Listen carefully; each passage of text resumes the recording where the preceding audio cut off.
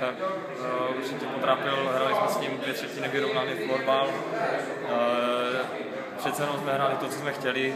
uh, měli tam dvě, tři šance za, za ty dvě třetiny a k ničemu jinému jsme nepustili a chtěli jsme prostě kontrolovat hru od začátku do konce, jestli vyhrám 1-2-0, tak nám to bylo jedno, ale prostě jsme šli z defenzivy a věděli jsme, že nemůžeme nechat hrát proti útoky, tak jak se to strhlo v té třetí třetině, to bylo náhodou dolů a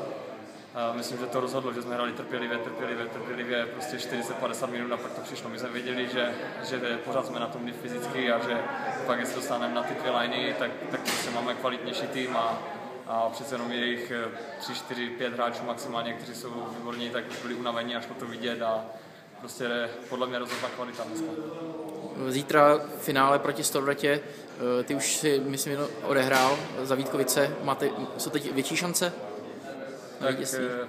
nevím, jestli větší, ale, ale určitě si věříme, tak jak jdeme do, do, toho, do každého zápasu, ale víme, co to dokáže a pokud se vyspí ta jejich první lajna dobře, tak, tak to bude problém, ale určitě chceme vyhrát a chceme předvést uh, rychlejší, rychlejší hru než dneska a určitě, určitě jdeme do toho zápasu, že chceme být uh, ruští šampioni.